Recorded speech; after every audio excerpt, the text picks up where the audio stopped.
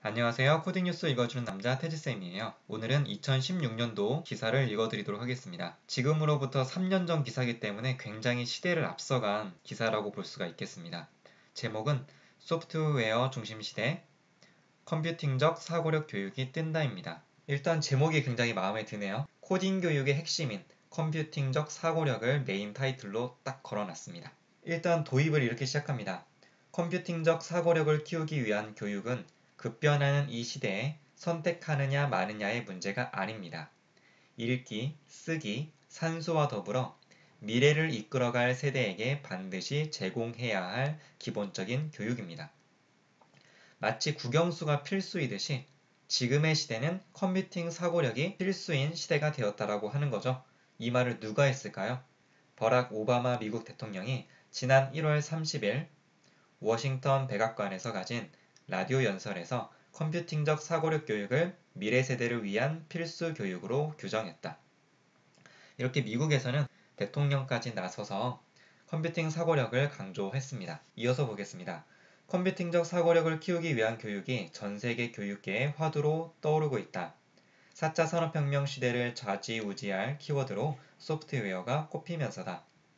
전문가들은 소프트웨어 인재를 양성하기 위해선 컴퓨팅적 사고력 교육은 필수라고 말한다. 그러면 컴퓨팅적 사고력이 무엇일까요? 그 정의에 대해서 이제 기사에서 소개하고 있습니다. 컴퓨팅적 사고력은 데이터 수집, 분석, 자동화 등 컴퓨터가 가진 능력을 인간의 사고에 적용해 문제를 해결해 내는 것을 말한다. 좀 더 간단히 표현하면 복잡한 문제를 단순화해 이를 논리적으로 처리하는 능력이다. 지넷 윙 마이크로소프트 연구소 부사장이 창안한 개념이다. 뭐 사실 지넷 윙이 창안한 개념이라기보다는 시모 페퍼트가 사실 원조죠. 시모 페퍼트가 절차적 사고라는 단어를 사용을 했고요. 대신 컴퓨팅 사고력을 확산시킨 건 지넷 윙에 의해서 확산된 게 맞습니다. 이 컴퓨팅 사고력의 예를 한 가지 듭니다. 이 기사에서요. 어떤 예를 드는지 한번 들어볼게요. 2009년 당시 한 고교생에 의해 탄생한 서울버스 애플리케이션은 컴퓨팅적 사고력을 활용한 대표적인 사례다. 서울버스 앱은 무작정 버스를 기다리는 불편함을 해소하기 위해 수많은 버스의 출발, 대기 시간 등 각종 자료를 수집, 분석, 이를 단순화한 앱이다. 복잡함을 단순함으로 바꾸는 컴퓨팅적 사고력의 원리가 그대로 투영됐다. 이 앱은 수십억 원의 가치를 인정받았고 2014년 다음에 인수됐다. 이어서 보겠습니다. 현재 전 세계 주요 국가들은 앞다퉈 컴퓨팅적 사고력을 키우기 위한 교육을 학교 현장에 보급하고 있다. 영국은 이러한 교육을 선도하는 나라로 꼽힌다. 2014년부터 소프트웨어 교육을 초중고교 정규 과목에 편성했다.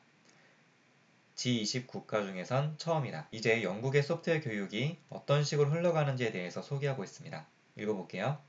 영국 소프트웨어 교육의 핵심은 역시 컴퓨팅적 사고력 교육이다. 소프트웨어 교육은 무엇보다 기초 교육이 중요하다고 보기 때문이다. 예컨대 영국 초등학교에선 유아와 아동을 위한 소프트웨어 프로그래밍 놀이교육, 비봇 교육을 진행한다. 학생들은 캐릭터 비봇이 여러 갈래의 경로가 있는 경로판에서 특정 목적지에 도달하기까지 어떻게 움직여야 하는지를 추리한다. 자신이 이동 방향을 설정하고 경로를 옮기는 지시, 수행 과정도 직접 체험한다. 이 과정에서 소프트웨어, 알고리즘에 대한 개념을 자연스레 익히는 것이다.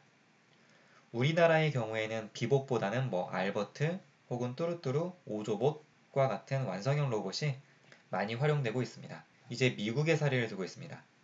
미국도 올해부터 고교 AP 과정에 Computational Thinking 과목을 신설했다.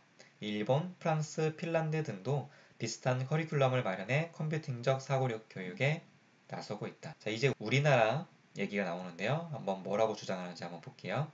2018년부터 초중고교 현장에 소프트웨어 교육을 도입하는 우리나라도 컴퓨팅적 사고력을 토대로 하는 교육을 시범적으로 진행하고 있다. 대학도 움직인다. 2015년 연세대는 마이크로소프트와 손잡고 컴퓨팅적 사고력 교육 과정을 개발해 처음으로 도입했다. 성균관대 등 지난해 소프트웨어 중심 대학에 선정된 대학들은 올해 신입생을 대상으로 컴퓨팅적 사고를 필수 이수 과목으로 지정해 가르치고 있다. 이제 이 기사는 아주대학교 교수님의 말씀을 통해서 마무리 짓고 있습니다. 이렇게 얘기하고 있습니다. 컴퓨팅적 사고력은 문, 이과 등 계열에 상관없이 모든 분야의 인재에게 필요한 능력이다. 앞으로 이런 능력을 키우기 위해선 교육 현장에서 소프트웨어의 기초인 컴퓨팅적 사고에 관한 교육을 좀 더 흥미롭고 체계적으로 진행해야 한다. 이를 바탕으로 컴퓨팅적 사고력을 갖춘 인재를 양성해낸다면 세계 무대에서도 우리나라의 소프트웨어 경쟁력을 보여줄 수 있을 것이다 라고 했다. 서두에 말씀드렸듯이 이 기사가 이천 십육년삼 월에 나온 기사인데요. 이 기사가 나온 지삼 년의 시간이 흘렀습니다. 과연 대한민국의 소프트웨어 교육은 컴퓨팅적 사고력 교육 중심으로 가고 있을까요? 한 번쯤은 돌이켜 봐야 할 때라고 생각이 듭니다. 이상 코딩 뉴스 읽어주는 남자 태지쌤이었습니다. 감사합니다.